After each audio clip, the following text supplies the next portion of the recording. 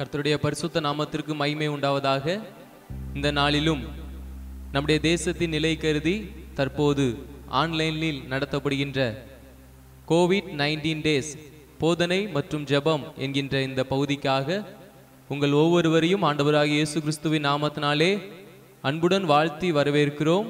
இப்போதும் இந்த பகுதியின் ஆசீர்வாதத்திற்காக நாம் ஜெபிக்கலாம்.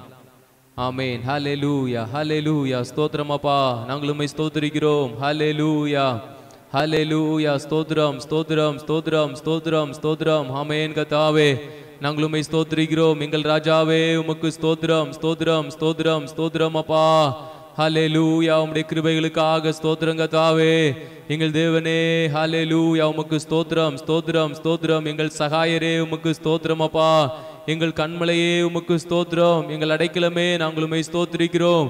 நீர் கிருபை மிகுந்தவர் கத்தாவே உம்முடைய இரக்கங்களுக்காக ஸ்தோத்திரம் அப்பா. உம்முடைய தயவுக்காக ஸ்தோத்திரம் அப்பா. ஹலே லூயா ஸ்தோத்திரம் ஸ்தோத்திரம் ஸ்தோத்திரம் ஸ்தோத்திரம் ஸ்தோத்திரம். ஆமேன் கத்தாவே எங்களை இந்த நாளிலும் விசேஷமாய் பாதுகாத்து வருகிறீரே. அப்பா உம்முடைய நாள் எங்களை மறைத்து வருகிறீரே. அதற்காக உமக்கு ஸ்தோத்திரம் அப்பா. ஹலெலூயா ஹலெலூயா நீர் நல்ல தேவனாய். கத்தாவே நீர் அதிசயங்களை செய்கிறவராய் அற்புதங்களை செய்கிறவராய். எங்கள் மத்தியில் இருக்கிறதற்காக உமக்கு ஸ்தோத்திரம் அப்பா. ஹலெலூயா ஸ்தோத்திரம் தாவே ஸ்தோத்திரம் தாவே ஆமேன். ஸ்தோத்திரம் அப்பா. ஸ்தோத்திரம் ஸ்தோத்திரம் ஸ்தோத்திரம் ஸ்தோத்திரம். ஆமேன். ஹalleluya ஹalleluya ஸ்தோத்திரம். மகா கிருபை நிறைந்த எங்கள் நல்ல பிதாவே ஆசீர்வதிக்கப்பட்டதான இந்த நல்ல நேரத்திற்காய் நன்றியோடு நாங்கள் உம்மை ஸ்தோத்திரிக்கிறோம் அப்பா. உம்முடைய கிருபையினாலே கத்தாவே இந்த நாட்களிலும் கூட உம்முடைய வசனங்களை கேட்கவும் அப்பா பாடி உமை மைமைப்படுத்தவும் தேவன் எங்களுக்கு ஏற்படுத்தி தந்திருக்கிற இந்த நல்ல வாய்ப்பை நினைத்து நன்றியோடு நாங்கள் உண்மை ஸ்தோத்திரிக்கிறோம். நிற்கிருபை நிறைந்த தேவனப்பா தேவனே எவ்வளவோ தேவனே ஸ்தோத்திரம் எவ்வளவோ விக்னங்கள் பெருகி கொண்டிருக்கிற இந்த காலங்களிலே எங்கள் தேவனுடைய கிருபையினால் அப்பா எங்களை பாதுகாத்து வருகிறோம் அன்பை நினைத்து நன்றியோடு நாங்கள் உண்மை ஸ்தோத்திரிக்கிறோம். கத்தாவே இனிமேலும் நீர் பாதுகாக்க நீர் போதுமான தேவனாயிருக்கிறபடி நாள் ஸ்தோத்திரம் அப்பா. ஆமேன். கத்தாவே எங்களுக்கு எவ்வளவோ வாக்குத்தத்தங்களை தந்திருக்கிறதற்காக ஸ்தோத்திரம். விசேஷமாய் கத்தாவே இந்த நாளிலும் தேவனே ஸ்தோத்திரம். நாங்கள் தியானிக்க போகிற வசனங்கள் பாடல் போகிற பாடல் கதாவே ஸ்தோத்திரம். ஆராதனை எல்லா பகுதிகளிலும் உடைய மகத்துவமான கிரியைகள் எங்கள் மத்தியிலே வெளிப்படும்படியாக நாங்கள் ஜெபிக்கிறோம். கதாவே போதனை பகுதி மற்றும் ஜெப பகுதியை நடத்துகின்ற எங்கள் தலைமை போதவர்களை எங்கள் தேவன் வல்லமையாய் பயன்படுத்த வேண்டும் என்று நாங்கள் ஜெபிக்கிறோம் அப்பா. எங்கள் ஒவ்வொருவரோடும் கூட எங்கள் பரலோகத்தின் தேவன் தம்முடைய வார்த்தையினால் பேசும்படியாக நாங்கள் ஜெபிக்கிறோம்.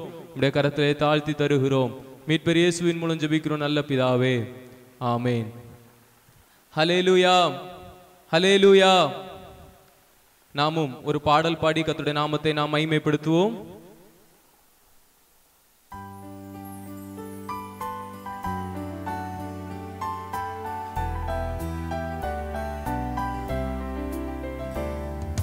பிரதான ஆசாரியரே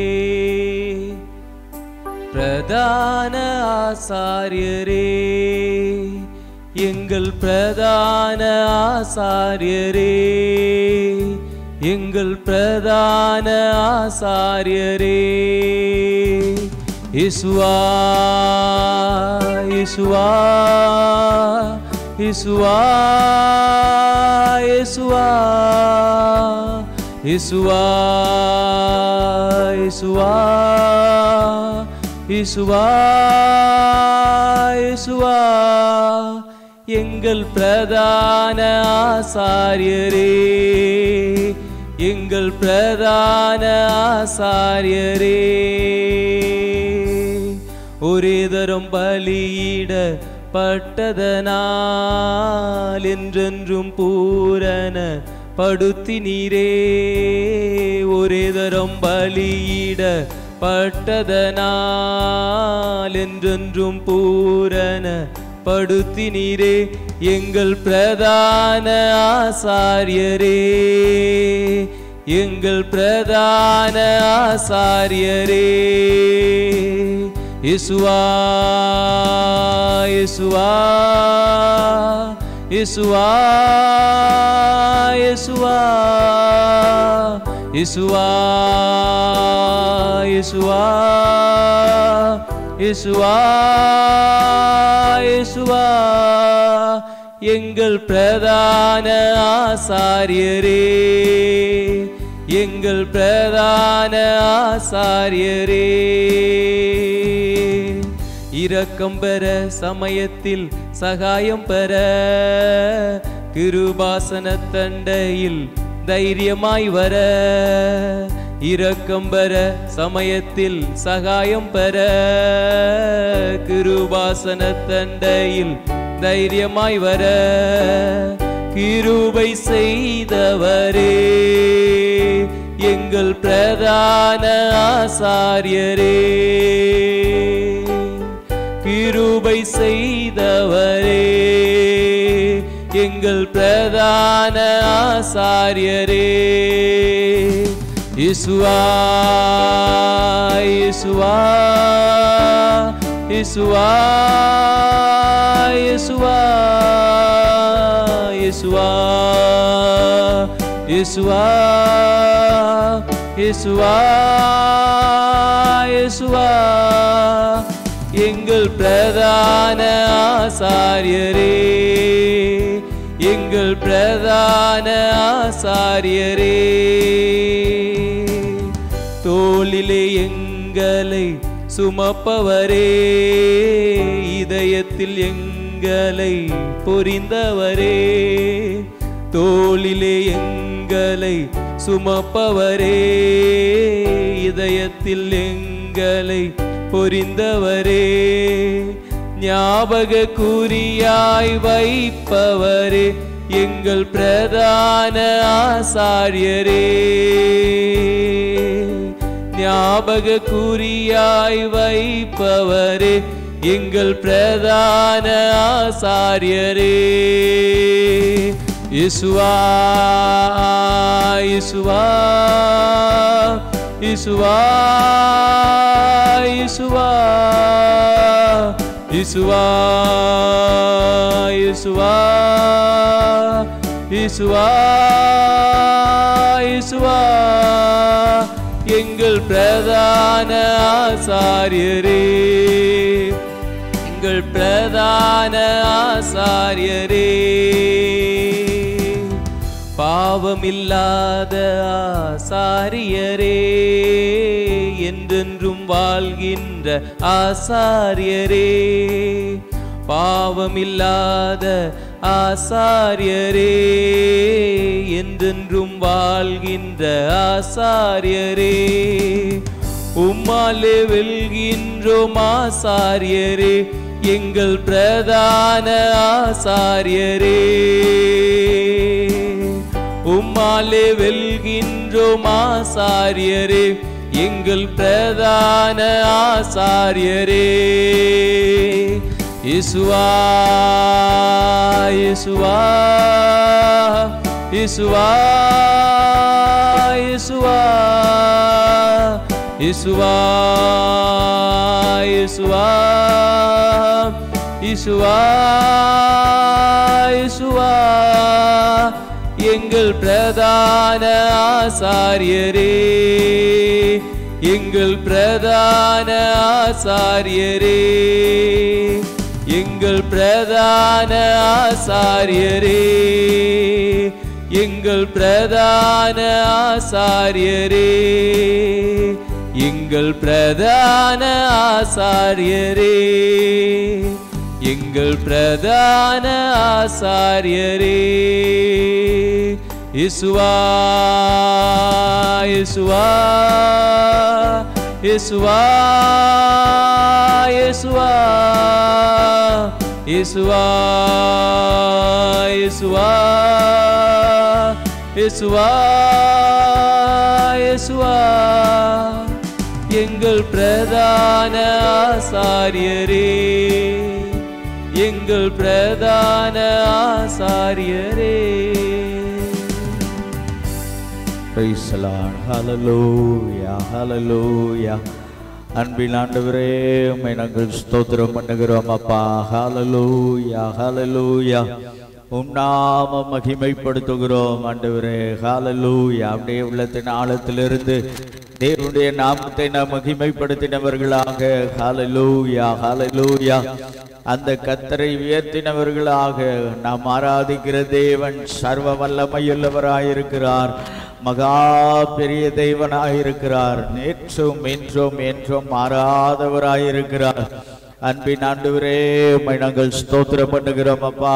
ஹலலூயா ஹலலூயா ஹலலூயா எங்கள் மத்திலே எழுந்தள்ளி இருக்கிறவரே எங்கள் மத்திலே வாசம் பண்ணி கொண்டிருக்கிறவரே எங்கள் மத்திலே அசைவாடி கொண்டிருக்கிறவரே.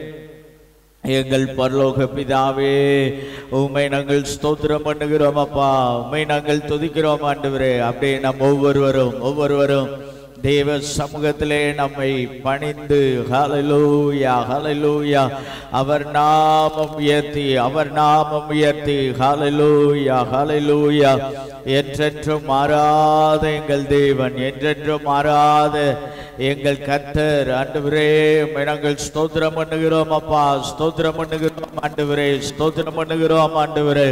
ஹலலூயா ஹலலூயா ஹலலூயா ஹலலூயா ஜீவாதிபதியே எங்கள் தேவாதி தேவனே எங்கள் கத்தாதி கத்தருமாய் இருக்கிறவரே எங்கள் ராஜாதி ராஜாவுமாய் இருக்கிறவரே ஹalleluya ஹalleluya. ஹalleluya நாங்கள் துதிக்கிறோம் அப்பா. உமையே நாங்கள் துதிக்கிறோம் நாதா.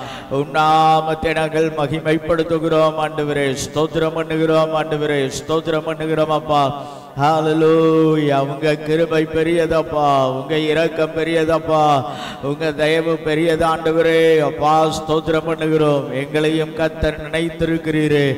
எங்களுக்கும் வாழ்வு தந்து நடத்தி வந்து கொண்டிருக்கிறீரே. உங்களுடைய செயல்கள் எல்லாம் மகத்துவமானவைகள் அப்பா உங்களுடைய செயல்கள் எல்லாம் மகத்துவமானவைகள் ஆண்டவரே. ஆமே நம்முடைய கிரியைகள் எல்லாம் மகத்துவமானவைகள். உன்னதமான தெய்வனாகிய கத்தாவே ஹலலூயா ஹலலூயா ஹலலூயா ஹலலூயா பரிசுத்தமான தெய்வனாகிய கத்தாவே வல்லமையுள்ள எங்கள் தேவனாகிய கத்தாவே.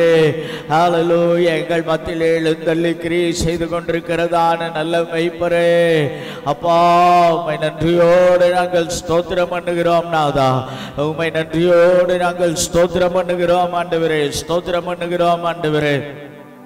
Hallelujah, hallelujah, hallelujah. Amen. Hallelujah, hallelujah, hallelujah. எனக்காக யாவையும் செய்பவரே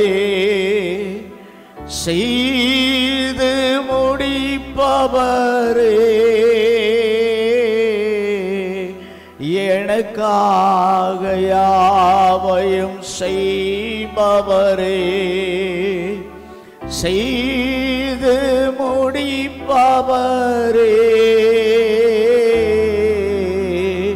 என்பாரங்கள் என் சுமைகள் என் பாரங்கள் என் சுமைகள். பாதத்தில் இறக்கி வைத்தே உம் பாதத்தில் இறக்கி வைத்தே ஏசையா உம்மை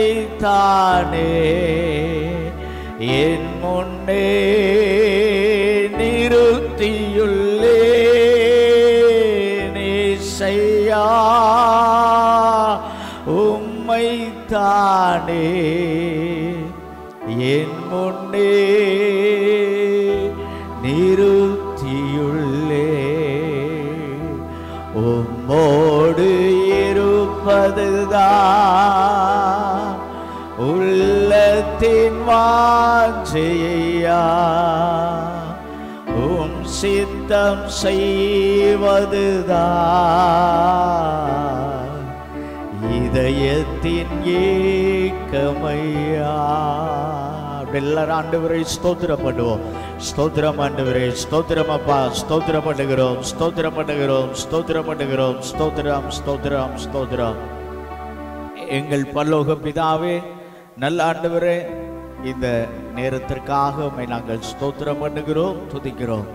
கத்தாவே உம்முடைய நாமத்தை மகிமைப்படுத்தி பாடல் பாடவும் உம்மை ஆராதித்து பாதம் பணிந்து கொள்ளவும் தேவன் இந்த நாளை எங்களுக்கு தந்த கிருபைக்காக ஸ்தோத்திரம் பண்ணுகிறோம். தொடர்ந்து உடைய வேத வசனங்களை நாங்கள் கேட்க இருக்கிறோம் தியானிக்க இருக்கிறோம் கற்றுக்கொள்ள இருக்கிறோம் அதற்காகவே பாதம் வந்து அமர்ந்திருக்கிறோம் ஆண்டவரே. சொல்லித்தாங்க ஆண்டவரே.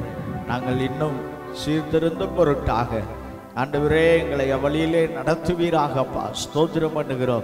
தொடர்ந்து ஆண்டவரை நாங்கள் கற்றுக்கொள்ளுகிறதான ஒவ்வொரு வேத பகுதிகளிலும் உமக்காக வாழ்ந்து அன்றுவரே உடைய செய்கைகள் உடைய அன்றுவரே மேன்மையான காரியங்களை உணர்ந்து அப்பா.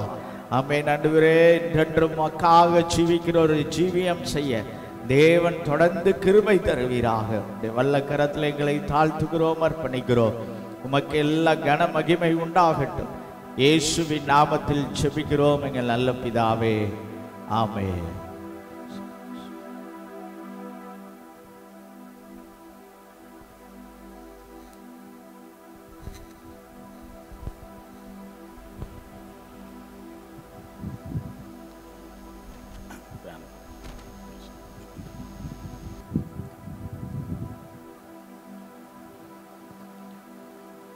Praise the Lord.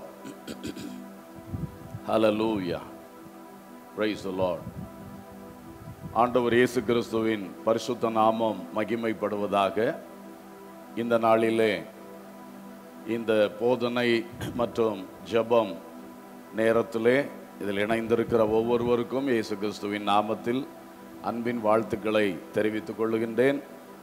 கர்த்தர் இந்த நாளிலே இந்த அருமையான நேரத்தை நமக்கு ஆசீர்வாதமாக மாற்றி தருவாராக.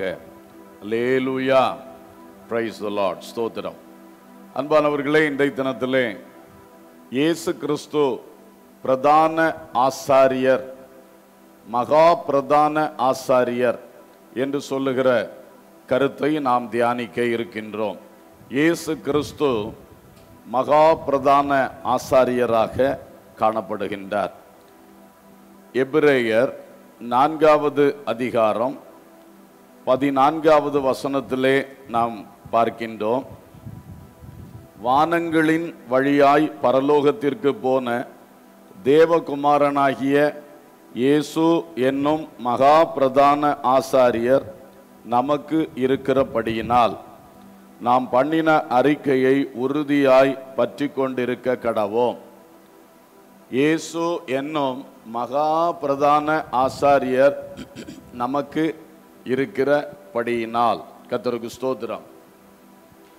இந்த மகா பிரதான ஆசாரியராகிய இயேசு கிறிஸ்து ஏன் இவருக்கு இந்த பெயர் வந்தது? இயேசு கிறிஸ்துவை குறித்து பல கண்ணோட்டங்களிலே நாம் தியானித்து தேவனை அறிகிற அறிவிலே இந்நாட்களில் விருத்தி அடைந்து வருகின்றோம். தேவனை அறிகிற அறிவு அடைய அடைய விசுவாசம் எழும்புகிறது. அந்த விசுவாசம் இந்த காலகட்டத்துக்கும் நம்முடைய வாழ்க்கை முழுவதுக்கும் நல்ல பிரயோஜனங்களை வளர்ச்சியை ஆசீர்வாதத்தை பாதுகாவலை கொண்டு வருகிறது. அல்லேலூயா. கர்த்தருக்கு மகிமை உண்டாவதாக. இங்கே பிரதான ஆசாரியன் என்று இயேசுவுக்கு பெயர் வர காரணம் பழைய ஏற்பாட்டிலே ஜனங்களுக்கான பலிகளை செலுத்தும்படி ஜனங்களுக்கு பாவ நிவர்த்தி செய்யும்படி தேவனிடத்திலிருந்து ஜனங்களுக்கு ஒரு இரக்கத்தை பெற்று தரும்படி இந்த ஆசாரிய ஊழியம் நியமிக்கப்பட்டது. அதையெல்லாம் முன்னின்று நடத்துகிற அந்த முக்கிய தலைவருக்கு பேர் பிரதான ஆசாரியன். அவருக்கு கீழே அநேக ஆசாரியர்கள். அவருக்கு கீழே அவர்களுக்கு கீழே லேவியர்கள். இப்படி ஒரு பெரிய ஊழிய வரிசை பழைய ஏற்பாட்டிலே நாம் பார்க்கின்றோம். இவர்கள் செய்கின்ற ஊழியம் தேவனிடத்திலிருந்து மக்களுக்கு கிருபை வரக்கூடிய அளவிலே மக்களுடைய பாவங்கள் மன்னிக்கப்பட்டு மக்களுக்கு அஹ், தேவனுடைய மன்னிப்பும் கிருபையும் கிடைக்கிறதுக்குள்ள பலிகளை செலுத்தி கொண்டே இருப்பார்கள். அதே வேளையில் தீர்க்கதரிசிகள் தலைவர்கள் அல்லது ராஜாக்கள் அவர்கள் தேவனுடைய வழியில் ஜனங்களை நடத்தி கொண்டே இருப்பார்கள். இப்படி ரெண்டு பக்கமாக ஊழியங்கள் அழகாய் செயல்பாடுகள் நடந்து கொண்டு வந்தன. இப்பொழுது இந்த இயேசு கிறிஸ்து மகா பிரதான ஆசாரியர்னு சொல்லும் பொழுது இயேசு கிறிஸ்துவும் இந்த ஒரு ஊழியத்தின் பங்கையும் ஆற்றினார். ஜனங்களுக்கு தேவனிடத்திலிருந்து மன்னிப்பை பெற்றுக் கொடுக்கிற ஒரு பெரிய ஊழியத்தை செய்தார். முழு மனுக்குலத்துக்கும் ஒரு பாவ நிவாரணம் செய்ய செய்கிற பிராயச்சித்த பலியாக அவரே மறித்து அவரே அந்த அந்த பலியை நடப்பித்து ஏனென்றால் பழைய ஏற்பாட்டில் ஒரு ஆட்டுக்குட்டியை பலி செலுத்துவாங்க. செலுத்துகிறது யார்? ஆசாரியன் செலுத்துவார். இப்போ இயேசு கிறிஸ்து ஒரு தேவாட்டுக்குட்டியாக சிலுவையிலே மறித்த பொழுது அதை நின்று செயல்படுத்துகிற ஆசாரியன் யார்? யாருக்கும் அதுக்குள்ள தகுதி கிடையாது பூமியில. ஆகவே அவரே ஆசாரியராகவும் அவரே பலியிடப்படுகிற ஆட்டுக்குட்டியானவராகவும் ரெண்டு ரோலும் அவரே எடுத்துக்கொண்டார் என்பதுதான் உண்மை. எனவே எப்ரேர் நிருபத்திலே இந்த பிரதான ஆசாரியன் என்கிற ரோல் அதை பற்றி நிறைய காரியங்கள் பேசப்பட்டிருக்கின்றன. முக்கியமாக இயேசு கிறிஸ்துவனுடைய பிரதான ஆசாரியத்துவத்தை நாம் நன்கு புரிந்து கொள்ள வேண்டும் என்றால் ஒரு கம்பேரிட்டிவ் ஸ்டடி செய்ய வேண்டும். ஒரு ஒப்- ஒப்பாய்வு செய்ய வேண்டும். ஏற்கனவே பழைய ஏற்பாட்டில் இருந்த ஆசாரிய ஊழியம். அதுக்கு பேர் ஆரோனின் முறைமையிலான ஆசாரிய ஊழியம். என முதல் பிரதான ஆசாரியனாக தெரிந்து கொள்ளப்பட்டவர் ஆரோன். அந்த ஆரோனுடைய வம்சங்கள் தான் அந்த பிரதான ஆசாரியனாக இருக்க முடியும் ஆசாரியர்களாக இருக்க முடியும். ஆகவே ஆரோனின் முறையிலான ஆசாரிய ஊழியம்.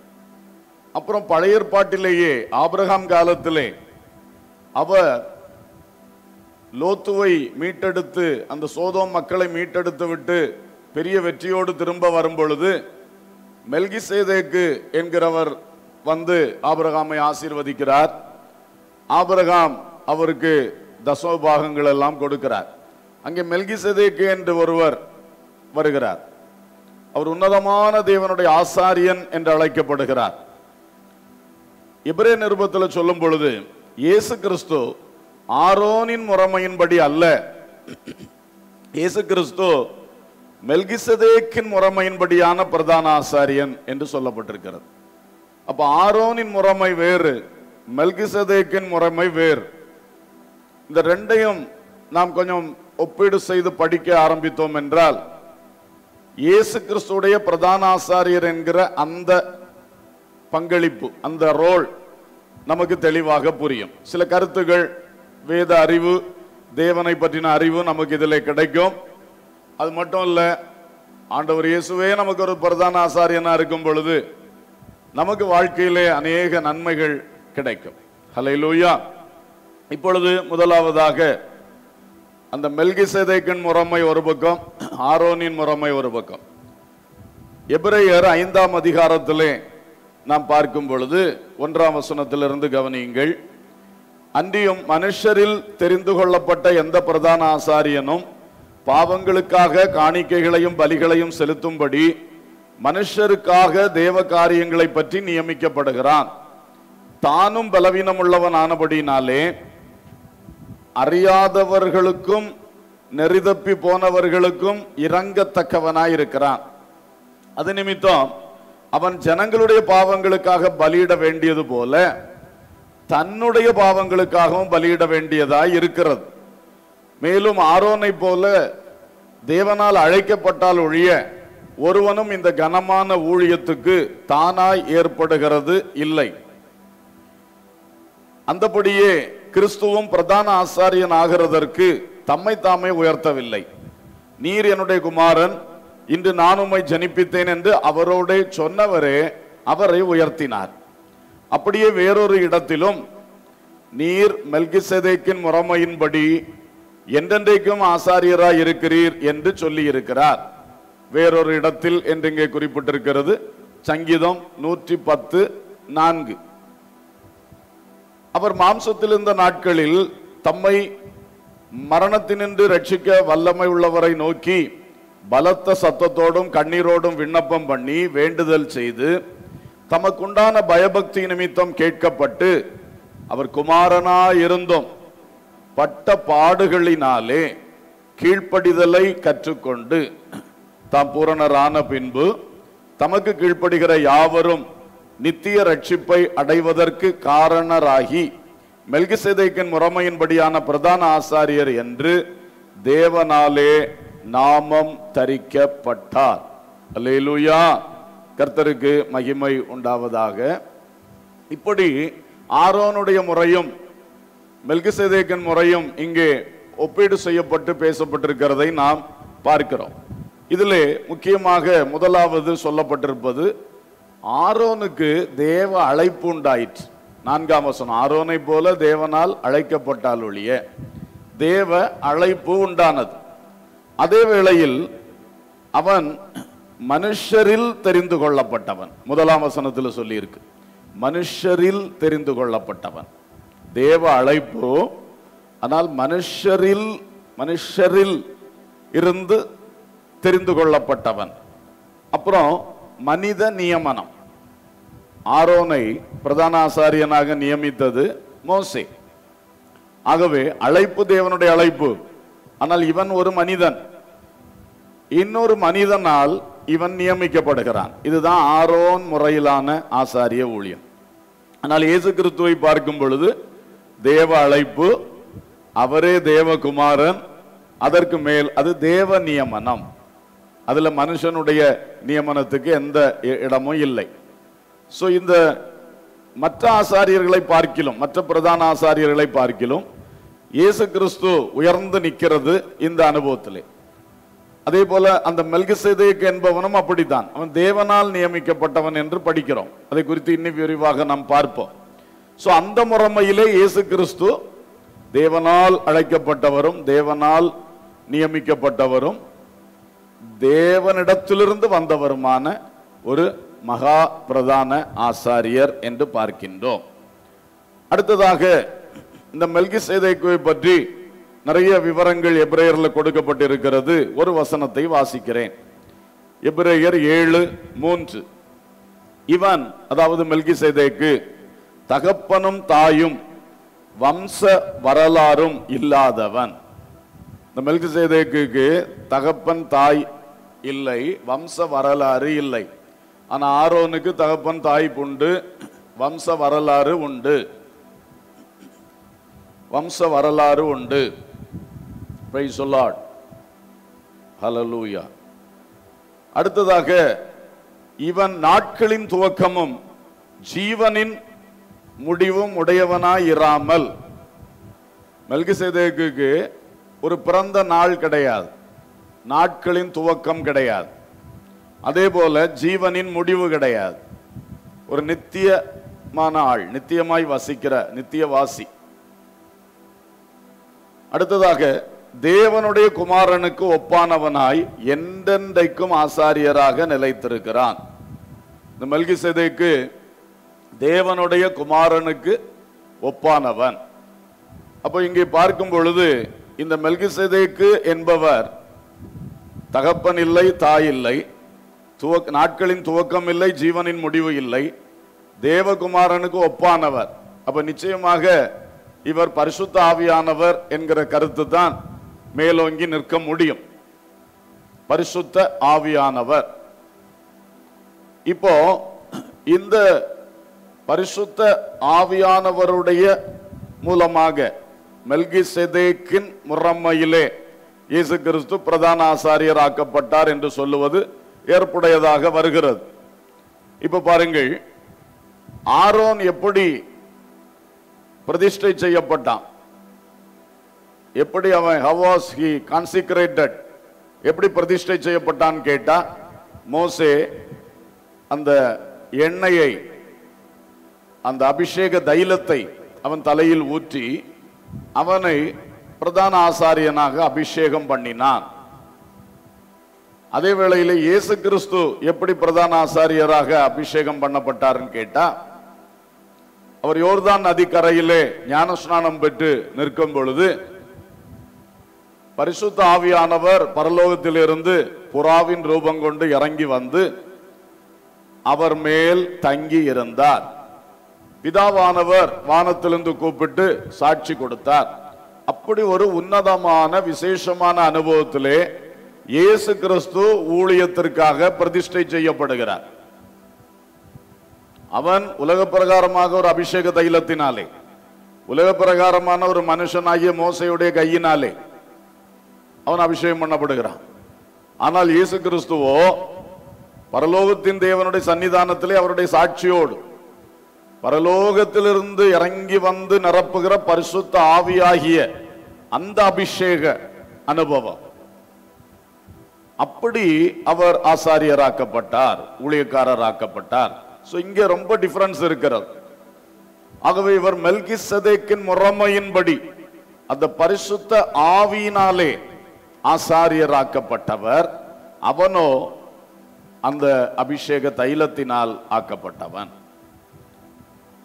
இன்னும் பாருங்கள் இவனை குறித்து நாம் பார்க்கும் பொழுது இந்த எபிரேயர் ஏழாம் அதிகாரம் இருபத்தி ஆறுல இருந்து இருபத்தி எட்டு வரைக்கும் இன்னொரு கருத்தை நாம் பார்க்க முடியும். பரிசுத்தரும் குற்றமற்றவரும் மாசில்லாதவரும் பாவிகளுக்கு விலகினவரும் வானங்களிலும் உயர்ந்தவருமாயிருக்கிற இவ்விதமான பிரதான ஆசாரியரே நமக்கு ஏற்றவராய் இருக்கிறார் அவர் பிரதான ஆசாரியர்களைப் போல முன்பு சொந்த பாவங்களுக்காகவும் பின்பு ஜனங்களுடைய பாவங்களுக்காகவும் நாடோறும் பலியிட வேண்டுவது இல்லை. ஏனெனில் தம்மை தாமே பலியிட்டதினாலே இதை ஒரே தரம் செய்து முடித்தார். நியாயப்பிரமாணமானது பலவீனமுள்ள மனுஷர்களை பிரதான ஆசாரியராக ஏற்படுத்துகிறது. நியாயப்பிரமாணத்துக்கு பின்பு உண்டான ஆணையோடே விளங்கின வசனமோ என்றென்றைக்கும் பூரணரான குமாரனை வெளிப்படுத்துகிறது. ஆகவே இந்த வசனங்களில் நாம் பார்க்கும் பொழுது ஆரோனுடைய ஆசாரிய ஊழியத்துக்கும் இயேசு கிறிஸ்துவினுடைய ஆசாரிய ஊழியத்துக்குள்ள இன்னும் ரெண்டு வித்தி ரெண்டு மூன்று வித்தியாசங்கள் இதிலே கூறப்பட்டிருக்கிறது. முதலாவது நீங்கள் கவனித்திருப்பீர்கள் உலக பிரகாரமான அல்லது ஆரோன் முறையிலான ஆசாரியர்கள் முதல்ல சொந்த பாவங்களுக்கு பலி செலுத்தி மன்னிப்பை பெற்றுக்கொள்ளணும். பிறகுதான் ஜனங்களுடைய பாவங்களுக்காக பலி செலுத்தி அவங்களுக்கு மன்னிப்பை பெற்றுக் கொடுக்கணும். ஏன்னா இவங்களும் மனுஷர்கள். இவங்களும் குறை குறை உள்ளவர்கள் அப்போ இதனாலே சொந்த பாவங்களுக்காக இவர்கள் பலி செலுத்த வேண்டும். ஆனால் இயேசு கிறிஸ்து மெல்கிசதேக்கன் முறைமையின்படி வந்த இயேசு கிறிஸ்துவோ பரிசுத்தர் குற்றமற்றவர் மாசில்லாதவர் பாவிகளுக்கு விலகினவர் வானங்களிலும் உயர்ந்தவர். ஆனால் அவர் தமக்காக ஒரு பலியை செலுத்த வேண்டிய அவசியம் இல்லை. தப்பிடத்தில் குற்றம் இல்லை. பாவத்தினுடைய ஒரு சின்ன காரியம் கூட அவரிடத்தில் இல்லை. ஆரோன் முதல்ல தனக்கு பலி செலுத்தணும். தான் அங்கீகரிக்கப்படணும். பாவ மன்னிப்பு பெறணும். அடுத்தது ஜனங்களுக்காக மன்னிப்பு பெறணும். இயேசு கிறிஸ்துக்கு அந்த வேலை கிடையாது. ஆகவே அவர் பரிசுத்தர். ஒரு பாவம் இல்லாத பரிசுத்தர். குற்றமற்றவர். எந்த நோ கம்ப்ளைண்ட்ஸ் குற்றமே இல்லை. மாசு இல்லை. ஒரு மாசு குறைத்து கரை திரை ஒன்றுமே இல்லை. மாசு இல்லாதவர். பாவிகளுக்கு விலகினவர். பாவிகளுடைய வழியில் அவர் நிற்க மாட்டார். பாவிகளுடைய முறைமைகளை பின்பற்ற மாட்டார். பாவிகளோடு பாவிகளை நேசிப்பார். பாவிகளுக்கு ஊழியம் செய்து அவர்களை ரட்சித்துக்குள்ளே நடத்துவார். ஆனால் அவர் பாவிகளுக்கு விலகி தன் வாழ்க்கையை காத்துக்கொள்வார். அப்படித்தான் உலகத்தில் வாழ்ந்தார். இன்னொன்னு வானத்திலும் வானங்களிலும் உயர்ந்தவர். வானங்களிலும் உயர்ந்தவர். பொதுவாக மனிதனுடைய ரிப்போர்ட்ஸ் எல்லாம் வானமண்டலத்திலே இருக்கிறது. மனிதன் பேசுகிற வார்த்தைகள் அங்கே பதிவு செய்யப்பட்டிருக்கிறதாக விஞ்ஞானிகள் சொல்லுகிறார்கள். ஆண்டவரும் சொல்றார் வானம் புஸ்தக சுருளை போல சுருட்டப்படும் சொல்றார். ஆனா இயேசுவோ இதுக்கெல்லாம் அப்பாற்பட்டவர். இதற்கெல்லாம் அப்பாற்பட்டவர். ஆகவே இந்த இயேசு கிறிஸ்துவை பிரதான ஆசாரியராய் பெற்ற இந்த புதிய ஏற்பாட்டு வாழ்க்கை ரொம்ப பாக்கியமானது. பழைய ஏற்பாட்டு வாழ்க்கை ஆரோன் போன்றவர்களை அல்லது ஆரோனின் சந்ததிகளை பிரதான ஆசாரியர்களாய் கொண்ட ஒரு வாழ்க்கை. அதைவிட நாம் பெற்றிருக்கிற இந்த பிரதான ஆசாரியர் கோடி கோடி மடங்கு உயர்ந்தவர் பெரியவர் சிறந்தவர். நாம் பெற்ற பெரிய பாக்கியம். ஹலலூயா அடுத்தது இதே வசனத்திலே நாம் பார்க்கிறோம். ஆரோன் நாடோறும் தனக்காகவும் ஜனத்தின் பாவத்திற்காகவும் பலியிட வேண்டும். டெய்லி வந்து டெய்லி உள்ள கடமைகள் அந்த பலி முறைமைகளை செய்ய தொடங்கும் பொழுது முதல்ல தன்னை சுத்திகரித்துக் கொள்ளணும். அடுத்து ஜனங்களுக்காக செய்ய வேண்டியதை செய்யணும். நாடோறும் டெய்லி ப்ராசஸ் ஆனால் இயேசு கிறிஸ்துவோ மெல்கிசதேக்கின் முறைமையின்படி வந்த இயேசு கிறிஸ்துவோ ஒரே தரம் தம்மைத்தாமே முழு மனுக்குலத்துக்காக பலியாய் செலுத்தினார். ஒரே தரம் தான் பலி. சும்மா சும்மா டெய்லி கிடையாது. தனக்காக பலி செலுத்த வேண்டிய அவசியம் இல்லை. எனவே இந்த மெல்கிசதேக்கின் முறைமையின்படி வந்த இயேசு கிறிஸ்து அவர் ஒரே தரம் சிலுவையிலே அருமையான பலியை செய்து முடித்து விட்டார். அந்த பலியை நடத்தினவரும் அவர்தான். அங்கே பலியாக மாறினவரும் அவர்தான். ரெண்டு ரோல் இயேசு கிறிஸ்து சிலுவையிலே பிளே பண்ணி இருக்கிறார் அல்லது பங்களித்திருக்கிறார். பிரதான ஆசாரியனாக நின்று அந்த பலியை நடத்தி இருக்கிறார் அவரே ஆட்டுக்குட்டியாக பலி ஆகி இருக்கிறார் ஹலோ லூயா அடுத்ததாக இதையே வாசித்த வசனத்தில் பார்க்கிறோம். இந்த ஆரோன் முறையில் உள்ள ஆசாரியத்துவம் நியாய பிரமாணத்தினால் ஆசாரியனாக ஏற்படுத்தப்படுதல்.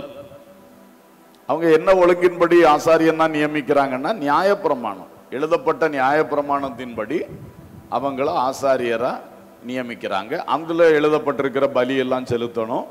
அந்த முறைமையின்படி ஜனத்தை நடத்த வேண்டும். அதே வேளையிலே மெல்கிசதேக்கின் முறைமையின்படி வந்த இயேசு கிறிஸ்துவோ நியாய பிரமாணத்தினால் அல்ல தேவ ஆணையோடே விளங்கிய வசனத்தினால் ஆசாரியராக ஏற்படுத்தப்பட்டார். தேவ ஆணை ஹெவன்லி ஆர்டர் கவர்மெண்ட் ஆர்டர்னு சொல்லும்போது நம்ம எவ்வளவு கனம் கொடுக்குறோம். ஒரு ஜீவோ வந்துருச்சு. ஒரு கவர்மெண்ட் ஆர்டர் வந்துருச்சு. இன்னார் அப்பாயிண்ட் பண்ணணும். இது வந்து தேவனுடைய ஆர்டர் காட்ஸ் ஆர்டர்.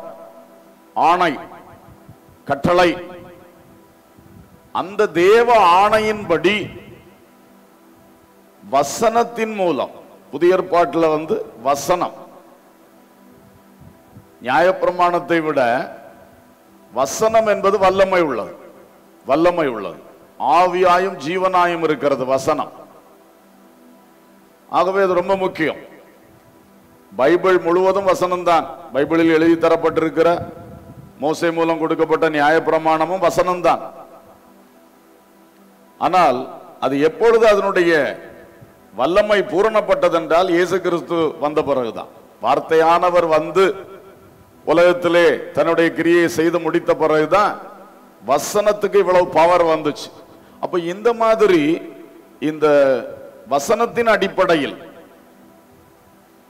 வெறும் பழைய நியாயப்பிரமாணம் மட்டுமல்ல முழு வசனத்தின் அடிப்படையில் தேவனுடைய ஆணையின் பேரில் மெல்கிசதேக்கின் முறைமையில் இயேசு கிறிஸ்து ஆசாரியனாக மகா பிரதான ஆசாரியராக இருக்கின்றார். எனவே இவைகளை எல்லாம் பார்க்கும் பொழுது இயேசு கிறிஸ்துவுடைய ஆசாரியத்துவத்து கீழாக இன்றைக்கு நாம இருக்கிறோம். நமக்காக அவர் ஒரு பெரிய பலியை செலுத்தி முடிச்சிட்டார். அதனால பழைய ஏற்பாடு மாதிரி டெய்லி பலியை செலுத்த போக வேண்டிய அவசியம் இல்லை.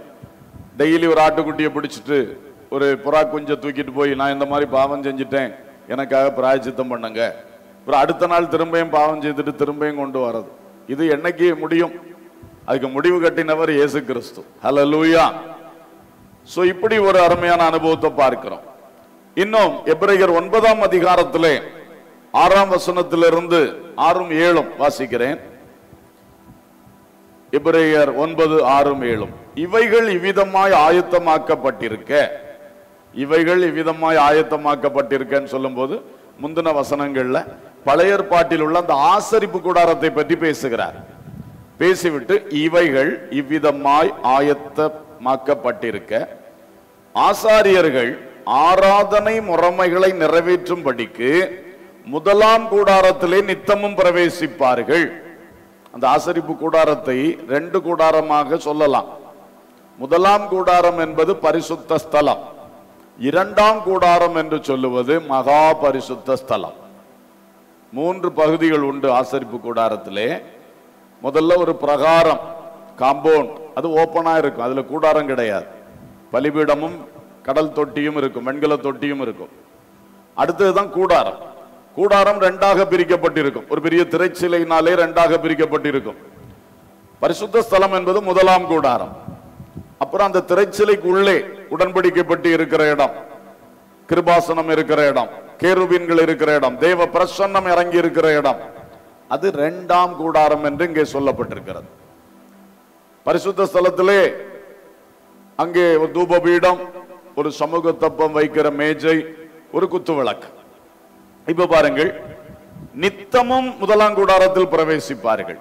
ஆசாரியர்கள் அந்த குத்து விளக்கில் செய்ய வேண்டிய பணிவிடை செய்ய தூபம் ஏற்ற அப்புறம் அந்த சமூக தப்பத்தை டெய்லி ஃப்ரெஷ்ஷாக மாற்றி வைக்க பரிசுத்த ஸ்தலமாகிய முதலாம் கூடாரத்துக்குள் டெய்லி போயிட்டு வருவாங்க.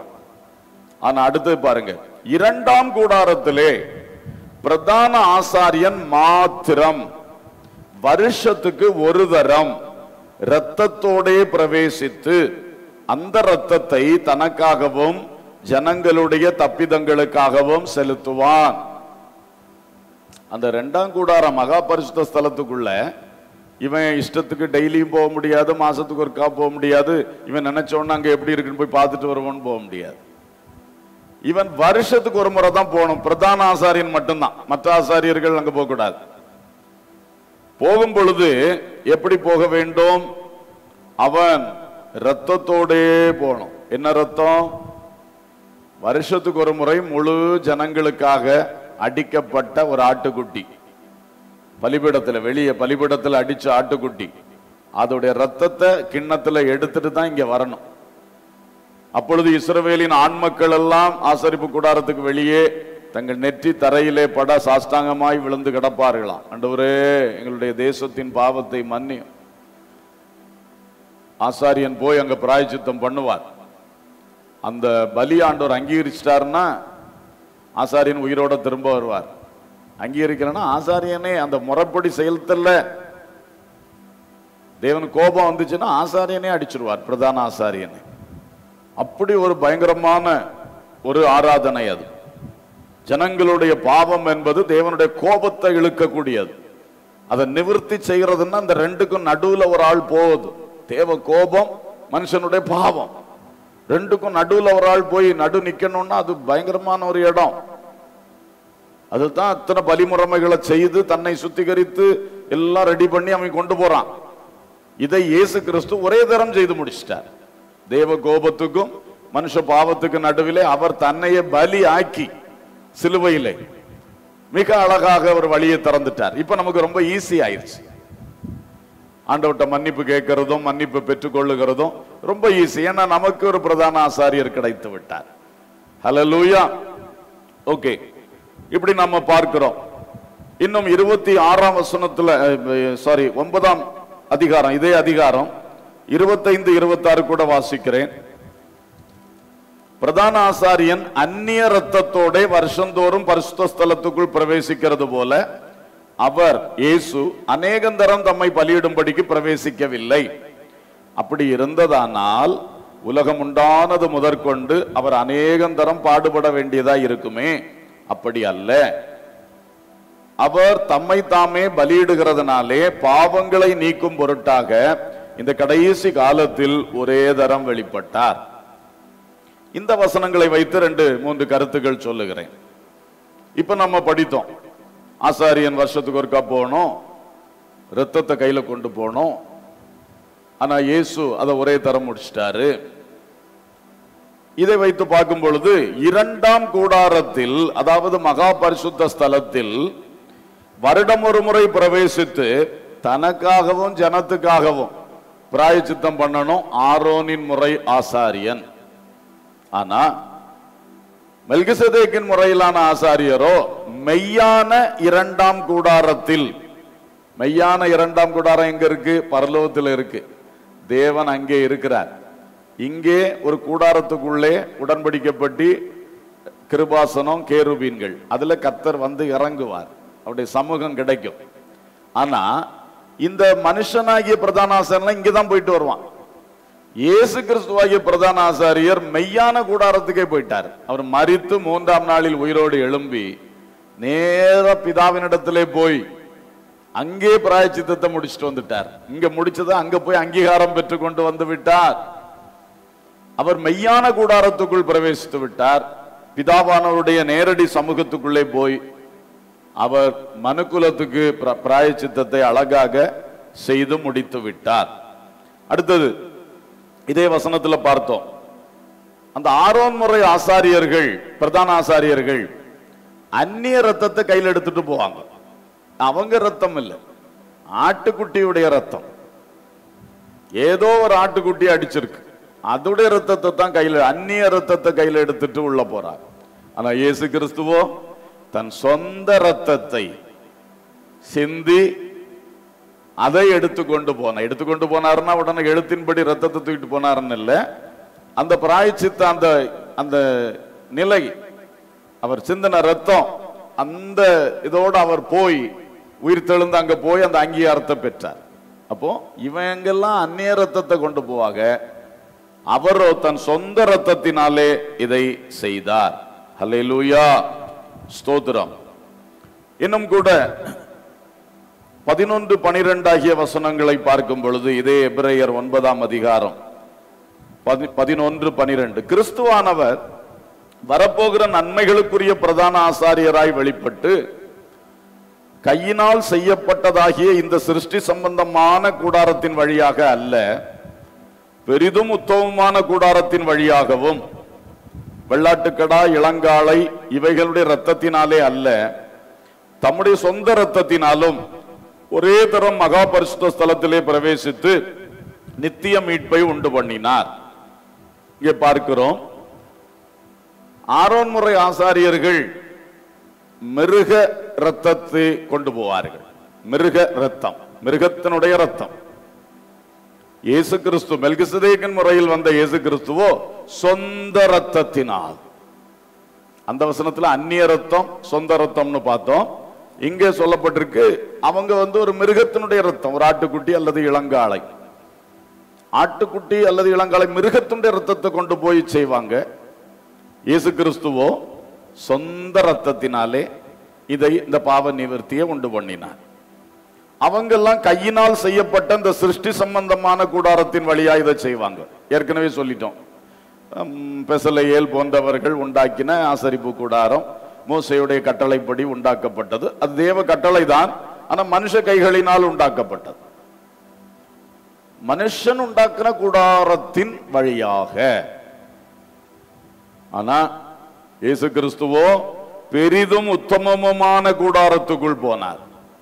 பரலோகத்தில் இருக்கிற தேவ சமூகத்திலேயே சென்றார் என்று நாம் படிக்கிறோம். கத்தருக்கு ஸ்தோத்திரம்.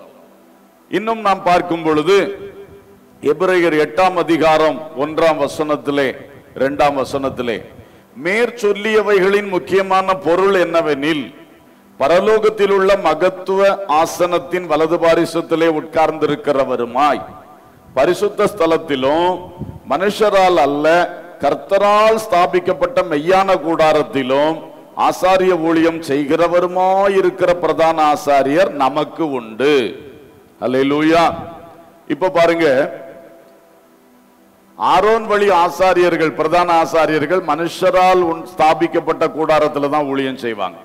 அவங்க தான் ஒரு காலத்துல மனுஷனுக்கு இருந்தாங்க. ஆனால் இப்பொழுதோ நமக்கு மெல்கிசேதேக்கின் முறைமையில் உள்ள ஆசாரியர் கர்த்தரால் ஸ்தாபிக்கப்பட்ட மெய்யான கூடாரத்தில் ஊழியம் செய்கிறார். அவர் இன்றைக்கும் ஊழியம் செய்து கொண்டு இருக்கிறார் இங்கே உள்ள மனுஷனால் உண்டாக்கப்பட்ட ஆசரிப்பு கூடாரத்திலோ எருசலேம் தேவாலயத்திலோ அல்ல மெய்யான கூடாரத்தில் அவர் நமக்கு ஊழியம் செய்கிறார். என்ன ஊழியம் செய்கிறார் இன்றைக்கு?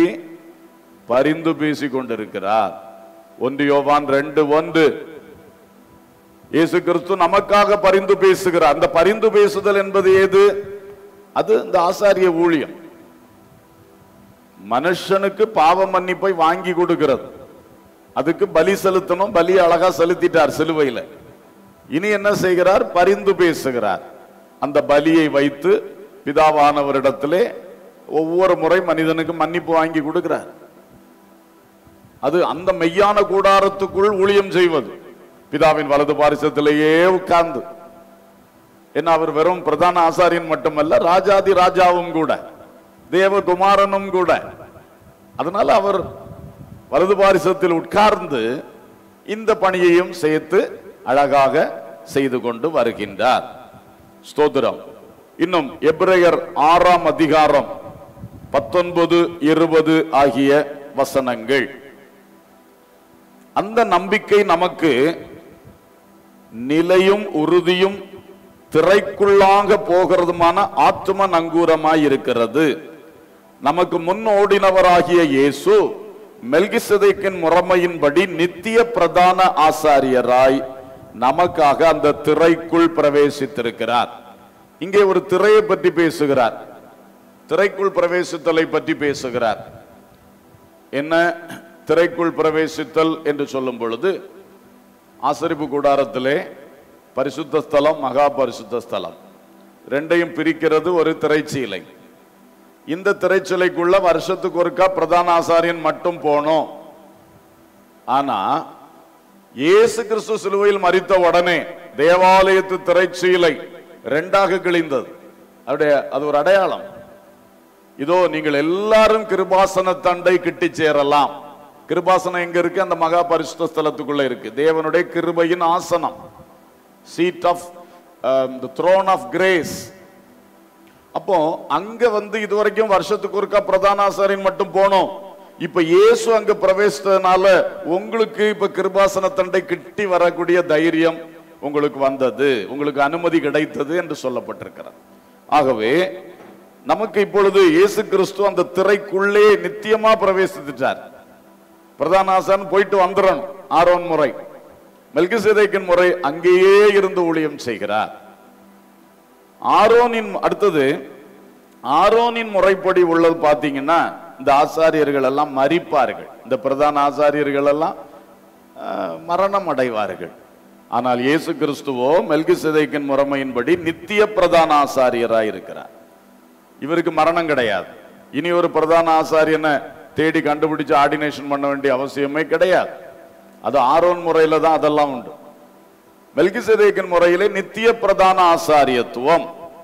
ஸோ இப்படி நாம் இன்றைக்கு தியானித்தோம். ஒருவேளை நான் நினைக்கிறேன் இன்றைக்குள்ள இந்த தியான பகுதி எல்லாருக்கும் ரொம்ப கரெக்டாக புரியுமா புரியாதான்னு எனக்கு தெரியல. இருந்தாலும் நாம் எல்லாவற்றையும் கற்றுக்கொண்டு வருகிற வழியிலே இதையும் கற்றுக்கொள்ள இது ரொம்ப பிரயோஜனமானது. இயேசு கிறிஸ்துவனுடைய அந்த ஒவ்வொரு செயல்பாடுகளும் நம்மளுக்கு ரொம்ப பிரயோஜனம். இப்போ பிரதான ஆசாரியன் என்கிற நிலையிலும் இதை தியானிக்கிறது நமக்கு ரொம்ப பிரயோஜனம். ஆகவே நமக்கு ஒவ்வொருத்தருடைய வேத அறிவுகளும் அந்த அறிந்த அனுபவங்களை வைத்து நீங்க அந்த அளவுக்கு உங்களுக்கு புரிஞ்சிருக்கும். ஆனால் பரிசுத்த ஆவியானவர் உங்களுக்கு உதவி செய்வார். நமக்கு எல்லாம் புரிய ஆண்டவர் உதவி செய்வார். அதனால் உண்டான நன்மைகள் நமக்குள் வர உதவி செய்வார். சில சப்ஜெக்டுகள் நமக்கு கொஞ்சம் புரியாமல் இருந்தோம்னா அதை ஒதுக்கி வைக்க வேண்டாம். ஆண்டவரை எனக்கு சொல்லித்தாங்க அப்படின்னு சொல்லும் பொழுது கர்த்தர் சொல்லி தருவார். ஸோ இதை நான் இப்போ வந்து ஷார்டன் பண்ணுறேன் ஒரு சம்மரியாக சொல்கிறேன் இப்போ படையற்பாட்டில் அந்த வருஷத்துக்கு ஒரு முறை யாம்கி போர்னு ஒரு பண்டிகை. அதுதான் அந்த முழு தேசத்துக்கும் ஒரு பாவ நிவர்த்தி செய்வது. அதுக்கு அந்த ஆட்டுக்குட்டியை தெரிந்து கொண்டு வந்து அந்த அது முறையும் நிறைய இருக்குது டைம் ஆகிடும் சொன்னால் அதை வந்து பலிபீடத்தில் வந்து பலியிடுவாங்க. அதை வந்து மகா பிரதான ஆசாரியன் அந்த பிரதான ஆசாரியன் தான் நடத்துவார். மற்ற ஆசாரியர்கள் இந்த பலி செலுத்த மாட்டாங்க. அவர் அதை நீட்டாக செலுத்தி அந்த இரத்தத்தை ஒரு கிண்ணியில் எடுத்து அப்புறம் உள்ளே வருவார். பரிசுத்த ஸ்தலத்தில் வந்து செய்ய வேண்டிய பணிவிடைகளை செஞ்சுட்டு மகா பரிசுத்த ஸ்தலத்துக்குள்ளே வருவார். வந்து அந்த ரத்தத்தை அந்த உடன்படிக்கப்பட்டி மேலே தெளிப்பார். தேவன் அங்கே இருக்கிறார். அவருடைய சமூகம் அங்கே இருக்கு. தேவன் அந்த பலியை அங்கீகரிச்சிட்டாருன்னா ஜனங்களுடைய பாவம் மன்னிக்கப்பட்டதுன்னு அர்த்தம். உடனே ஆசாரியன் வெளியே வருவார். அது வரைக்கும் இவங்க எல்லாம் அந்த நெத்தி தரையில் பட ஆண் மக்கள் எல்லாம் வந்து அங்கே கூடி இருப்பாங்க. அப்புறம் வெளியே வந்து கைகளை உயர்த்தி அவங்களை ஆசீர்வதிப்பார். ரொம்ப சந்தோஷமா. ஒரு வருஷத்துக்கு இனி தொந்தரவு இல்லை நமக்கு ஒரு வருஷத்துக்கு பாவம் எல்லாம் மன்னிக்க ஒரு வருஷத்து பாவம் மன்னிக்கப்பட்டுருச்சு. இனி நம்ம ஃப்ரெஷ்ஷாக புதிய ஒரு வாழ்க்கை அப்படின்னு சொல்லி சந்தோஷமா என்ன செய்வாங்க? போவாங்க. அப்ப இதே மாதிரி ஒரு ஹோல் இஸ்ரேலுக்கு ஒரு பலி. வருஷத்துக்கு ஒரு முறை. இப்ப இயேசு கிறிஸ்து சிலுவையில் செய்தது என்னன்னா இந்த மல்கிசதேக்கன் முறைமையின்படி வந்த மகாபிரதான ஆசாரியராகிய இயேசு சிலுவையில் செய்தது என்னன்னா முழு மனுக்குலத்துக்கும் சேர்த்து எல்லா காலத்துக்கும் சேர்த்து ஆதாமின் சந்ததி முழுவதுக்கும் சேர்த்து ஒரே பலி. அப்ப அதுக்கு ஒரு ஆட்டுக்குட்டி அடிக்கப்படணும். அது தன்னையே கொடுத்தார். நானே தேவாட்டுக்குட்டின்னு சொல்லி தன்னையே சிலுவையாகிய பலிபீடத்திலே பலி செலுத்த கொடுத்தார். அந்த பலியை நடத்துறது அவர்தான். வேற அங்கே ஒரு ஆள் நின்று நடத்த முடியாதல்லவா? பிதாவானவர் இறங்கி வந்து நின்று நடத்த முடியுமா? முடியாது. அப்போ அந்த ரோலும் இயேசுவுக்கு. அதுதான் அந்த பிரதான ஆசாரியன் ரோல். அவரே அந்த பலியும் செலுத்து. அவரே செலுத்தி அவரே மறித்து மூன்றாம் நாள் உயிர்த்தெழும்பி நேர பரலோத்து போறார். இந்த ஆசாரியன் எப்படி பலிபீடத்தில் அந்த ஆட்டுக்குட்டியை அடித்து ரத்தத்தை எடுத்துட்டு உள்ள மகா பரிசுத்த ஸ்தலத்துக்கு அந்த ரெண்டாம் கூடாரத்துக்குள்ள போறானோ அதே மாதிரி இயேசு கிறிஸ்து தன்னையே பலியாக்கி மூன்றாம் நாள் உயிரோடு எழும்பி நேரம் மெய்யான கூடாரமாகிய பரலோகத்துக்கே போய் பிதாவுக்கு முன்பாக தேவனே நீ நியமித்ததை செய்து முடித்து விட்டேன் என்று அதை ஒப்பு கொடுக்கிறார். அப்போ பிதாவானவர் அதை அங்கீகரித்து ஏற்றுக்கொள்ளுகிறார். முழு மனுக்குலத்துக்கும்.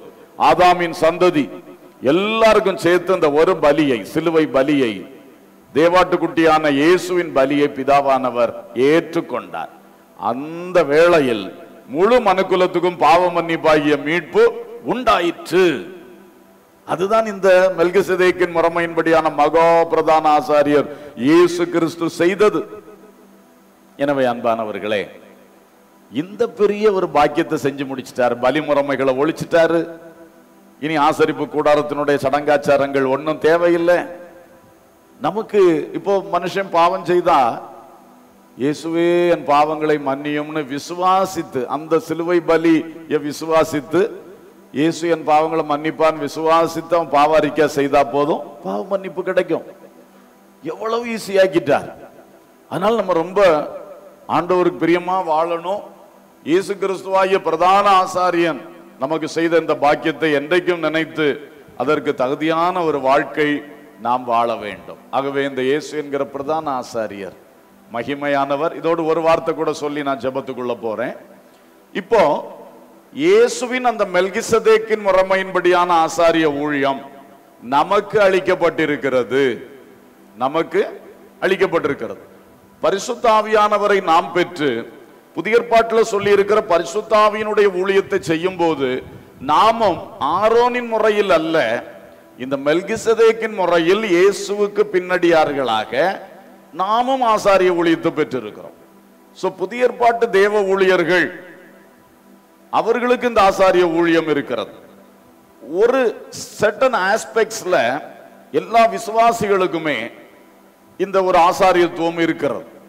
நம்மை அவர் ராஜாக்களும் ஆசாரியர்களுமாய் மாற்றினார்.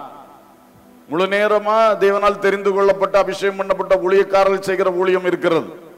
அதே வேளையிலே ஒவ்வொரு தனிப்பட்ட முறையில விசுவாசிகளுக்கும் சில ஆஸ்பெக்ட்ஸ் நாட் ஆல் ஆஸ்பெக்ட்ஸ் எல்லா பங்கையும் கொடுக்கல. சிலது அந்த தெரிந்து கொள்ளப்பட்ட ஊழியக்காரர்கள் செய்யணும்னு வச்சிருக்கிறாரு. மற்றபடி ஆண்டவர் எல்லாரையும் ஆசாரியர்களாக பார்க்கிறார். ஸோ இது நமக்கு கிடைத்த பாக்கியம். நாம் அன்றைக்கு ஒரு மனிதன் ஒரு பலியை கொண்டு வரணும்னா அவன் வெளியே நிற்கணும் ஆசாரியன் வந்து கேட்பான் எதுக்கு வந்திருக்க? நான் இப்படி பாவம் செய்துட்டேன். இந்த பலியை கொண்டு வந்திருக்கேன். ஆ ஆட்டுக்குட்டியை பார்ப்போம். காலை பிடிச்சி பார்ப்பான் காதை பிடிச்சி பார்ப்பான். ஏய் இது சரியில்லை போ வேற கொண்டு வா. அவன் அங்கீகரிச்சா தான் அந்த ஆடை பலி செலுத்த முடியும். இதில் வேற இயேசு கிறிஸ்துடைய வா- இயேசு கிறிஸ்து இந்த உலகத்தில் வாழ்ந்த காலத்தில் இது பெரிய பிசினஸ் ஆசாரியர்களுக்கு. இவன் வேணும்னே டிஸ்குவாலிஃபை பண்ணுவான். இவன் எங்கேயோ இருந்து வந்திருப்பான் நாசரேத்துல இருந்தும் அங்கே கப்பர்நகம்ல இருந்தும் எருசலேமுக்கு வந்திருப்பான். இனி வீட்டில் போய் இன்னொரு ஆட்டை தூக்கிட்டு வர முடியுமா? இவன் டிஸ்குவாலிஃபை பண்ணால் அங்கே அங்கேயே ரெடியாக இருக்கும். ஆசாரியனுடைய கமிஷன் கடை அங்கே ரெடியாக இருக்கு. அங்கே ஆடு ரெடி காசுக்காரர்கள் ரெடி இவன் டிஸ்குவாலிஃபை பண்ணுவான் அவன் உடனே என்ன செய்வான்? இந்த காலத்தில் டாக்டர்ஸ் போன உடனே ஸ்கேன் எடுத்துட்டு வா. ஸ்கேன் எடுத்துட்டு வான்னு அவங்க ஒரு இடத்த ரெஃபர் பண்ணுவாங்க. தெரியும் இல்லையா உங்களுக்கு? இது மாதிரி தான் அந்த காலத்து ஆசாரிகள் அதனால தான் இயேசு சாட்டை எடுத்தார். உங்களுக்கு பரிசுத்தமான ஊழியத்தை கனமான ஊழியத்தை தந்தா நீ கள்ளர் குகை ஆக்கிட்டியே என் வீடை வியாபார ஸ்தலமா மாத்திட்டேன்னு சொல்லி கோவப்பட்டார். ஸோ நம்ம பார்க்குறோம் இன்னைக்கு நம்ம கிடைத்திருக்கிற ஊழியம் எவ்வளவு பாக்கியமான ஊழியம். அன்னைக்கு மாதிரி கொண்டு போய் ஆட்டுக்குட்டியை தூக்கிட்டு போய் நிக்கணுமா? வேண்டாம். ஊழியர்களுக்கும் எவ்வளவு கஷ்டம். டெய்லி எத்தனை பலிகளை செலுத்தணும். ஆனா இப்பொழுது எல்லாம் நமக்கு ஆண்டவர் செய்த அந்த பலியின் மேலுள்ள விசுவாசம் நம்முடைய வாயின் அறிக்கைகள் இவைகளால் அழகா போகிறது. இந்த அழகான பாக்கியத்தை நம்ம கோட்டை விட்டோம்னா நம்மளை போல நிர்பாக்கியர் யாராவது உண்டா? அதனால இந்த இயேசு கிறிஸ்துவாகிய பிரதான ஆசாரியரை உத்தமமாய் பின்பற்றுவோம். அவர் வழி நடப்போம். அவர் செய்த பலியை நம்முடைய வாழ்க்கையில் பூரணப்படுத்திக் கொள்ளுவோம் நல்ல பரிசுத்தமாகணும். இயேசுவின் வருகையில் எடுத்துக்கொள்ளப்படுவோம். கத்த நம்மை ஆசீர்வதிப்பார். கண்களை மூடி கத்தரை நாம் நோக்கி பார்க்கலாம். ஹலை லூயா வந்திடுவே தேவா வல்லமையா? தந்திடும் எழுப்புதல் ஆவினால் வந்திடுவீர் தேவா வல்லமையாய். தந்திடும் எழுப்புதல் ஆவினால் சிந்தையில் மெல்கிசதேக் முறைமை. சிந்தையில் மெல்கிசதேக் முறைமை. சந்ததம் நிலைத்திட அருள் புரிவி. சந்ததம் நிலைத்திட அருள் புரிவி. ஊற்றிடுவீர் தேவ அன்பினையே. சுத்தர் உள்ளம் உயிர்த்திடவே. ஊற்றிடுவீர் தேவ அன்பினையே சுத்தர் உள்ளம் உயிர்த்திடவே. எம்மை மாற்றிடும் அபிஷேகத்தா. எம்மை மாற்றிடும் அபிஷேகத்தா. ஜீவனின் முடிவில்லாதவரே தேவகுமாரனை போன்றவரே ஜீவனின் முடிவில்லாதவரே தேவகுமாரனை போன்றவரே சோதனையில் அழியாதெம்மையே சோதனையில் அழியாதெம்மையே சோர்ந்திடாதே நிலைக்க வருவீர் சோர்ந்திடாதே நிலைக்க வருவீர். ஊற்றிடுவீர் தேவ அன்பினையே சுத்தர் உள்ளம் உயிர்த்திடவே ஊற்றிடுவீர் தேவ அன்பினையே சுத்தர் உள்ளம் உயிர்த்திடவே. எம்மை மாற்றிடும் அபிஷேகத்தா எம்மை மாற்றிடும் அபிஷேகத்தா. தந்தையும் தாயும் சகோதரரும் சந்ததி ஏதும் இல்லாதவர் நீர். தந்தையும் தாயும் சகோதரரும் சந்ததி ஏதும் இல்லாதவர் நீ. எந்தையே உம்மை போல் மாற்றிடவே. எந்தையே உம்மை போல் மாற்றிடவே. ஈந்திடும் மெல்கி மெல்கிசதே ஈகத்தில். ஈந்திடும் மெல்கி மெல்கிசதே ஈகத்தில். ஊற்றிடுவீர் தேவ அன்பினையே சுத்தர் உள்ளம் உயிர்த்திடவே. ஊற்றிடுவீர் தேவ அன்பினையே சுத்தர் உள்ளம் உயிர்த்திடவே. எம்மை மாற்றிடும் அபிஷேகத்தா எம்மை மாற்றிடும் அபிஷேகத்தா தேவகுமாரனும் பாடுகளால் ஜீவனை ஊற்றி கீழ்ப்படிந்ததினால் தேவகுமாரனும் பாடுகளால் ஜீவனை ஊற்றி கீழ்ப்படிந்ததினால் தாரணியில் அவர் போல் நிலைக்க தாரணியில் அவர் போல் நிலைக்க தந்திடும் மெல்கிசதே முறைமை தந்திடும் மெல்கிசதே முறைமை. ஊற்றிடுவீர் தேவ அன்பினையே. சுத்தர் உள்ளம் உயிர்த்திடவே. ஊற்றிடுவீர் தேவ அன்பினையே. சுத்தர் உள்ளம் உயிர்த்திடவே. எம்மை மாற்றிடும் அபிஷேகத்தா. எம்மை மாற்றிடும் அபிஷேகத்தா. நித்தியமான அசாரியரே. சத்திய வெளிப்படுத்தல் நிறைவாய். நித்தியமான அசாரியரே சத்திய வெளிப்படுத்தல் நிறைவாய். பெற்று நம் நித்திய அசாரியராய். பெற்று நம் நித்திய அசாரியராய். கர்த்தனம் இயேசுவுடன் நிலைக்க கர்த்தனம் இயேசுவுடன் நிலைக்க ஊற்றிடுவீர் தேவ அன்பினையே. சுத்தர் உள்ளம் உயிர்த்திடவே. ஊற்றிடுவீர் தேவ அன்பினையே. சுத்தர் உள்ளம் உயிர்த்திடவே. எம்மை மாற்றிடும் அபிஷேகத்தா. எம்மை மாற்றிடும் அபிஷேகத்தா. ஊற்றிடுவீர் தேவ அன்பினையே சுத்தர் உள்ளம் உயிர்த்திடவே. ஊற்றிடுவீர் தேவ அன்பினையே சுத்தர் உள்ளம் உயிர்த்திடவே. எம்மை மாற்றிடும் அபிஷேகத்தா எம்மை மாற்றிடும் அபிஷேகத்தா. ஹலலூயா எல்லாரும் கத்தரை ஸ்தோத்தரித்து மகிமைப்படுத்துவோம். மெல்கிசதேக்கின் முறைமையின்படி நித்திய பிரதான ஆசாரியராய் மகா பிரதான ஆசாரியராய் இருக்கிற ஆண்டவராய் இயேசு கிறிஸ்து. ஓ இந்த வேளையில் நம்மை ஆமென் அவருடைய மகிமையான பணிக்காக பயன்படுத்தி கொண்டிருக்கிறாரு. அவருடைய ஊழியத்தில் பயன்படுகிற பெற்றுக்கொள்ளுகிறவர்களாக நம்மை நடத்தி கொண்டிருக்கிறாரே. அந்த பாக்கியத்தை நினைத்து கத்தரை ஸ்தோத்திரம் பண்ணுவோமாக. ஓ ஹalleluya அந்த மல்கிசதைக்கின் முறைமையின்படியான ஆசாரியத்துவம் பரிசுத்தாவின் அபிஷேகத்தால் கிடைக்கிறது. பரிசுத்த ஆவியானுடைய அங்கீகாரம் பரிசுத்த ஆவியானுடைய நிரப்பப்படுதல் பரிசுத்த ஆவியானவர் நம்மை கண்காணிகளாக தெரிந்து கொண்டு ஆமை தம்முடைய மந்தைக்கு நியமிக்கிற அனுபவங்கள். ஓ ஹalleluya ரிகதலா சந்துரா துரபால் பி அந்தலா. யாராகிலும் ஒருவேளை இந்த பரிசுத்த ஆவியின் அபிஷேகத்தை பெறாமல் ஆமீன் கிறிஸ்தவ ஊழியம் செய்து கொண்டிருக்கிறீங்கன்னு சொன்னா இந்த வேளையில் ஆண்டவர் நோக்கி பாருங்க. அப்பா நான் பழைய ஆரோனின் முறையில ஊழியம் செய்ய முடியாதே. அது பழைய பழையற்பாட்டோடு ஒளிந்து போயிற்று எனக்கும் அது பரிசுத்த ஆவியை தாரும்.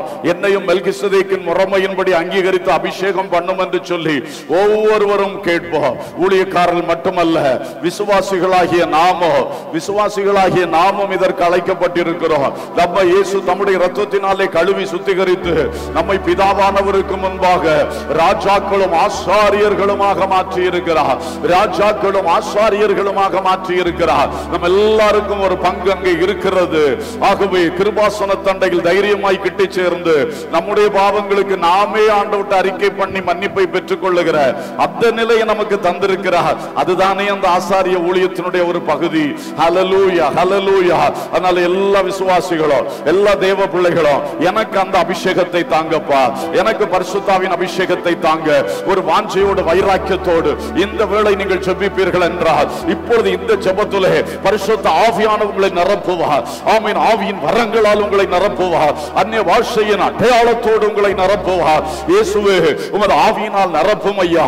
வெல்கிசதேக்கின் அபிஷேகம் அந்த ஆசாரிய முறையின் அபிஷேகம் ஒவ்வொரு பிள்ளைகளுக்கு வருவதாக என்று ஜெபிக்கிறார் ஒவ்வொருவரும் நிரப்பப்படும்படியாக ஒவ்வொருவரும் வல்லமை பெற்றுக் கொள்ளும்படியாக ஓ ஊற்றிடுவே உமது ஆவியை ஊற்றிடுவே உமது அன்பினை ஓ ஹalleluya எங்கள் உள்ளங்கள் உயிர்ப்பிக்கப்படுவதற்காக. நாங்கள் இயேசுவுக்காய் மகிமையான ஊழியம் செய்வதற்காக நாங்கள் இயேசுவுக்காய் மகிமையான சாட்சியின் ஜீவியம் செய்வதற்காக. ஊலா தாரா ஷபல துரபால வி கந்தனா. ரிகதல ரபுத ரபு ஷபல துரபத ரிபிகமன பௌதலாந்தரா ஷமரபதரபா ஷபரபதரபா ஆவியை பெற்றுக்கொள்ள முடியாமல் என்ன தடை இருக்கிறதோ இயேசுவின் நாமத்தில் தடைகள் உடைக்கப்படட்டும் இயேசுவின் நாமத்தில் தடைகள் உடைக்கப்படட்டும் உடைய வல்லமை இறங்கட்டும் உடைய வல்லமை இறங்கட்டும் காத்திருக்கிற பிள்ளைகள் மேல் வாஞ்சியோடு இருக்கிற பிள்ளைகள் மேல் பரிசுத்த ஆவியினுடைய வல்லமை பரிசுத்த ஆவியினுடைய அபிஷேகம். ஓ இப்பொழுது நிரப்புவதாக. லிபாதுர கத்தர மௌசந்தலா. லிபி லிபி லிபி கன்சர மௌதுரா ஷலப கமௌரி அந்தலா கட்டுகள் உடைகட்டும் தடைகள் உடைகட்டும் உள்ளங்கள் திறக்கப்படட்டும். ஆவியினால் நிரப்பப்படட்டும். ஆவியினால் நிரப்பப்படட்டும். உரபல சந்தரா துரபல விகமதுர அந்தர சமன அந்தரா. ஹalleluya hallelujah praise god. Glory glory glory. பொழிந்திடும் வல்லமை உன்னதத்தின் வல்லமை. வல்லமை அக்கினியின் வல்லமை பொழிந்திடும் வல்லமை உன்னதத்தின் வல்லமை ஆவியின் வல்லமை அக்கிரியின் வல்லமை. வல்லமை தேவை தேவா வல்லமை தாரும் தேவா. இப்போ தேவை தேவா இப்போ தாரும் தேவா. இன்றே தேவை தேவா இப்போ தாரும் தேவா. பொழிந்திடும் வல்லமை உன்னதத்தின் வல்லமை ஆவியின் வல்லமை அக்கினியின் வல்லமை பொழிந்திடும் வல்லமை உன்னதத்தின் வல்லமை ஆவியின் வல்லமை அக்கினியின் வல்லமை பொழிந்திடும் வல்லமை உன்னதத்தின் வல்லமை ஆவியின் வல்லமை அக்கினியின் வல்லமை ஒரு அக்கதல சந்தர துரபல விகபதல துரபல புகபல ஓ ரிபல பஷல பல பல பல பக்கபல மதுரப துரபல புகபல சந்தல துரபத ரிபி கமௌரிய விகதல துரபத ரிபி கபல பஷபல பல பல பக்கபல மதுரப சந்தல திவிரி விருபிர பௌஷல பௌதரப துரபதரபி கமர துலபரி அந்தர விகதலரப ஷலபதுரியா தினமதுலபு கமரப ஷலபதுரியா ஆவியானவர் ஆட்கொள் ஆவியானவர் நிரப்ப பரிசுத்த ஆவியின் அபிஷேகத்தை அநேகர் பெற்றுக்கொள்ளத்தக்கதாய் தேவ கிருபை இறங்கும்படி ஜெபிக்கிறோம் fill everyone with Lord விபதல துர கத்தர பௌஷந்தல துரபதுர பஷல hallelujah hallelujah. Praise the lord praise the lord praise the lord. Glory glory glory. ஆமே நாம் கத்தரை ஸ்தோத்தரிப்போம். ஸ்தோத்திரம் ஸ்தோத்திரம் ஸ்தோத்திரம் ஸ்தோத்திரம் ஸ்தோத்திரம். இந்த வேளையில் அன்பான கத்தோடைய பிள்ளைகளே பரிசுத்த ஆவியை பெறாமல் மெல்கிசதேக்கின் முறைமையின்படி இல்லாமல் ஊழியம் செய்கிற அநேகர் இருக்கிறார்கள் அவர்களுக்கு இந்த சத்தியம் விளங்கும்படியாக அவர்களை பரிசுத்தாவியானவன் நிரப்பும்படியாக அவர்களும் இந்த ஆவிக்குரிய அனுபவங்களை பெற்று வேத சத்தியங்களை கற்று நல்ல தேவன் விரும்புகிற புதிய பாட்டின் ஊழியத்தை சில ஊழியத்தை வேதாகம கிறிஸ்தவ ஊழியத்தை தெளிவாய் செய்யக்கூடிய ஒரு கிருபை உண்டாக வேண்டும் என்று எல்லாரும் பாரத்தோடு செபிக்கலாம். அன்புள்ள பிதாவே அநேக தேவ பிள்ளைகள் அப்பா கிறிஸ்தவர்கள் அப்பா ஆண்டவரே உங்களுடைய பரிசுத்தாவின் அபிஷேகத்தை பெறாம இருக்கிறாங்க ஆண்டவரே. அவங்களுக்கு இந்த சத்தியம் வெளிப்படும்படி செபிக்கிறோம். அவங்கள பரிசுத்தாவியான நிரப்பும்படி செபிக்கிறோம். அப்படி அநேகர் ஊழியம் செய்கிறார்கள் அப்பா. பரிசுத்தாவியில் நிரப்பப்படாத ஊழியம். ஆமையின் அந்த ஊழியக்காரர்களை நீர் சந்தித்து நிரப்பும்படி செபிக்கிறோம் அவர்கள் எல்லாம் பரிசுத்த ஆவியின் அபிஷேகத்தை பெற்று கர்த்தருக்குள் வல்லமையான ஊழியக்காரர்களாய் எழும்பட்டோம். புது உடன்படிக்கையின் ஊழியக்காரர்களாய் எழும்பட்டோம். மெல்கிசதேக்கின் முறைமையின்படியான ஆசாரியர்களாய் எழும்பட்டோம். கர்த்தர் பரிசுத்தாவின் அபிஷேகத்தால் வல்லமையாக அநேகரை நிரப்பணும். இந்த அடைபட்டிருக்கிற காலங்களிலே கத்தாவை அநேகரை கர்த்தர் எழுப்புங்கப்பா அநேகரை கர்த்தர் எழுப்புங்கப்பா. அநேகரை கத்தர் எழுப்பி தேவன் கிரிய செய்யும்படியாக நாங்கள் செபிக்கிறோம். அநேகர் வல்லமையோடு எழும்பி ஊழியம் செய்ய வேண்டும். ஆமையின் ஆமையின் ஆமை வசனத்தின் சத்தியங்களை இன்னும் தெளிவாய் புரிந்து கொள்ளுகிற அந்த அபிஷேகம். ஆமையின் வல்லமையினாலே ஊழியத்தை செய்கிற அபிஷேகம். அநேக ஜனங்களுக்கு பிரயோஜனத்தை உண்டாக்கக்கூடிய அந்த வல்லமையான ஊழியம் மகிமையான ஊழியம். அநேகர் செய்வதற்கு கத்தர் எழுப்ப வேண்டும். அவளை நிரப்பி எழுப்ப வேண்டும் என்று செபிக்கின்றோம். வல்லமையுள்ள கரத்திலே நாங்கள் ஒப்பு கொடுக்கின்றோம் உலபத லபுக்கபல பதுரப சந்தர தூரபத ரபிக்கபர தலார் யாதரப ಶಂಬಲ பௌதரப ಶಬಲ ಬದುರ ரிகதல ரதரப சலபதரப ದಿರಬದಲ லபிக்கமன தலார் யாதரப சம்பல பௌரப ரபக்கபரப ரிகதல ರದುರ ಶಂಬಲ தினமா தரக்கபல பஷந்துர பௌதரபி சலபதுரியா இயேசுவின் நாமத்தில் அநேகர் சந்திக்கப்படும்படி வேண்டிக் கொள்ளுகிறோம். கர்த்தருடைய வல்லமை இறங்கும்படி ஜெபிக்கிறோம். ஆசீர்வதியும் இயேசுவின் நாமத்தில் பிதாவே. ஆமே நாம் கத்தரை சோதரம் பண்ணுவோம். சோதராம் சோதராம் சோதராம் சோதராம் சோதராம் பரிசுத்தாவின் அபிஷேகம் பெற்ற பிள்ளைகள் டெய்லி ஆவியில் நிரம்பி கத்தரை துதிக்க டெய்லி அந்நிய பாஷைகளை பேச குடும்ப ஜபத்திலே தனி ஜபத்திலே ஆவியில் நிறைந்து வல்லமையான கிறிஸ்தவர்களாய் எழும்ப எல்லாரும் சோதனம் பண்ணி ஜெபிப்போம். எங்கள் பிதாவே அபிஷேகத்தை பெற்ற ஒருவராகிலும் சோர்ந்து தளர்ந்து போகாதபடி அந்த மேன்மை இழந்து போகாதபடி பரிசுத்தமாய் வாழவும். ஆவியானவருக்கு பிரியமாய் ஆவியானுடைய சத்தம் கேட்டு சுத்தம் செய்து வாழவும் கிருபை செய்யுங்க. அது மட்டுமல்ல எப்பொழுதும் பரிசுத்தாவிக்கு இடம் கொடுக்கும்படி ஆவியில் நிறைந்த ஒரு வாழ்க்கை கொடுங்க. ஆவியில் நிறைந்து ஜெபிக்க உதவி செய்யுங்க. பரிசுத்தாவின் சந்தோஷத்தால் நிரப்பப்படட்டும். பரிசுத்தாவின் கிருபைகளால் நிரப்பப்படட்டும். பரிசுத்தாவின் வரங்களால் நிரப்பப்படட்டும். ஓ அந்நிய பாஷையின் வரம் எப்பொழுதும் வெளிப்படத்தக்கதாக. பௌதருவை சந்தலா எல்லாருடைய நாவுகளையும் விரைவாய் எழுதுகிறவன் எழுத்தாணியாய் மாற்றுவீராக அப்பா. உங்க அபிஷேகம் வல்லமையாக இறங்கும்படி செபிக்கிறோம். ஆபின் ஹalleluya. நாவு நாவாக. அந்த நாவின் வார்த்தைகள் அப்படியே செயல்படக்கூடிய ஒரு வல்லமையாக ஒவ்வொருவரையும் கட்டி எழுப்பும்படி செபிக்கிறோம். தேவ கிருபைக்கு ஒப்பு கொடுக்கிறோம். வாலிபர்களை அபிஷேகம் பண்ணோம். பெரியவர்களை அபிஷேகம் பண்ணோம். ஆவியின் அபிஷேகம் பெற்ற ஒருவராகிலும் அதை இழந்து போகாதபடி காத்துக்கொள்ளோ தாவியது பாவம் செய்த பொழுது ஒரு பரிசுத்தாவியை என்னை விட்டு எடுத்துக்கொள்ளாமல் இரும் என்று கெஞ்சினானே. அதே போல பாவத்தினால் யாரும் இழந்து போகாதபடி காத்துக்கொள்ளோ ஆண்டவரை எல்லா தீமைகளிலிருந்து விடுதலையாக்கி ஆவின் அபிஷேகம் நிறைந்த ஆவிக்குரிய கிறிஸ்தவர்களாய் எல்லாரையும் எழுப்பும்படி செபிக்கிறோம் ஆசீர்வதியும் இயேசுவின் நாமத்தில் பிதாவே. ஆமேன். ஹalleluya. ஹalleluya. Praise the lord. Glory jesus. கர்த்தருடைய கிருபை ஒவ்வொருவரையும் சந்திப்பதாக ஒவ்வொருவரையும் சந்திப்பதாக. ஹalleluya ஸ்தோத்திர ஜபத்தினா. பெருகுதே கிருபை. ஸ்தோத்திர ஜபத்தினா. பெருகுதே கிருபை அத்தும பாரம் கண்ணீரோடே சோர்வின்றி நானும் வேண்டிடவே. அத்தும பாரம் கண்ணீரோடு சோர்வின்றி நானும் வேண்டிடவே. ஜபவரம் கிருபை தாருமே ஜபவரம் கிருபை தாருமே. தம் கிருபை பெரிதல்லோ எம் ஜீவானிலோ மது இம்மட்டும் காத்ததுவே. இன்னும் தேவை கீருபை தாருமை. இன்னும் தேவை கீருபை தாருமே. ஹலலூயா ஆண்டவர் இன்னும் ஜெபிக்க அதிகமான கிருபைகளை தாரும். ஜெப வரத்தை தாரும். ஸ்தோத்திர ஜபம் துதி ஸ்தோத்திரங்கள். அதிகமா எங்கள் உதடுகளில் எழும்ப உதவி செய்யும். பெரிய காரியங்களை செய்யும். ஆமேர் ஹலெலூயா ஸ்தோத்திரம் ஸ்தோத்திரம் ஸ்தோத்திரம். இந்த நாளின் சூழ்நிலைகளுக்காக உலகத்தின் நிலவரங்களுக்காக எல்லா தேவ பிள்ளைகளும் இந்த வேளை சேர்ந்து நாம் ஒன்றாய் ஜெபிப்போம். பிதாவே ஒவ்வொரு நாளும் உங்களை பார்த்து விண்ணப்பம் பண்ணி கொண்டு இருக்கிறோம். எங்கள் தேசத்துக்கு இறங்கும். உலக நாடுகளுக்கு இறங்கும்.